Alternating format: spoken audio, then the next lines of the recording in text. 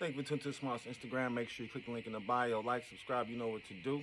Um, we appreciate the love. Make sure that you guys um, click that thumbs up and subscribe button. We are really, really, really appreciate it. We're trying to get to a thousand um, subscribers.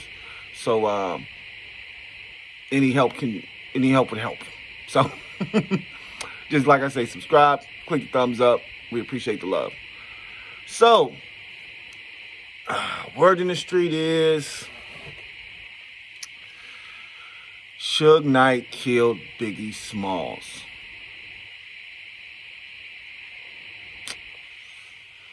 And from what they're saying, the target was Sean P. Diddy Combs.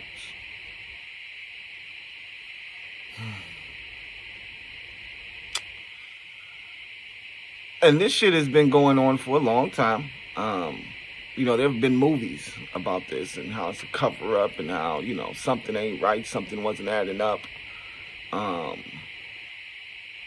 and it was pretty much an unsolved mystery. Like, people didn't really know who killed Biggie or why. Now, I think the person who uh, pulled the trigger is a guy named some Mack, M A C K. I believe he, he's had some interviews where he said that he did um, pull the trigger, but now they're saying that he was the trigger man and that it was all set up by uh, Suge Knight. So, Suge Knight is definitely where he belongs behind bars. Um, and now that this information has came to light, I mean, I know Suge is is is a, is a gangster, and I know he that nigga, but I don't know, man. Motherfuckers loved Biggie Smalls, man. Um, and I would think that at this point in time, Diddy probably has just as much power as a as a Suge Knight does in jail, out of jail, to where he might be able to get Suge touched. Now, I'm not saying that, you know, I want anything bad to happen to Suge. What I'm just saying is, this is some gangster shit going on. And if you was to find out, like, I don't know if, I don't know if Diddy knew that uh Suge set this shit up and it was Suge who was behind it all.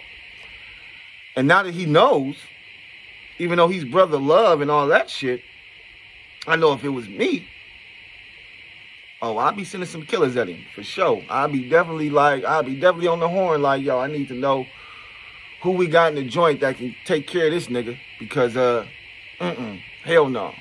No, sir. You are not getting away with that. Mm-mm. But at the same time, there's a lot of people say Diddy was in on it, but they're saying that the target was Diddy. So I don't know. I don't know if Diddy was in on it or not. And that's what I'm saying. Like, if I was if I was a gangster and I got word of this information, we got, you know, shit, should got to get taken care of. So, you know, God forbid, I don't want anything to happen to Suge Knight. You know, we don't, you know, we don't want anything to happen to any of our brothers. But, um, but yeah, man, you you put a hit out on somebody, and never, the shit never came out. Like I'm, I'm guessing the only reason it came out now is because the niggas in jail. I mean, seriously, like I don't I don't understand why this information never came out until now. Like they've been had this information. So why is it just now coming out? But regardless, none of this out, what what are the consequences and repercussions behind it going to be?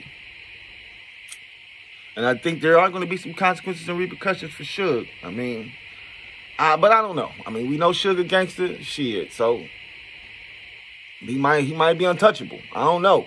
But uh, I know it's fucked up that uh, he put a hit out and got Biggie killed. That's crazy. But that's this rap shit.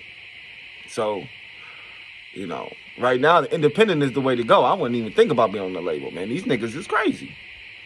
Why would you fucking want to sign to somebody else's business or label? Nigga, start your own label. Start your own business. Be your, be your own boss. Don't work for none of these niggas, man. These niggas will kill you as we can see. So thanks for tuning in. Appreciate the love. Peace.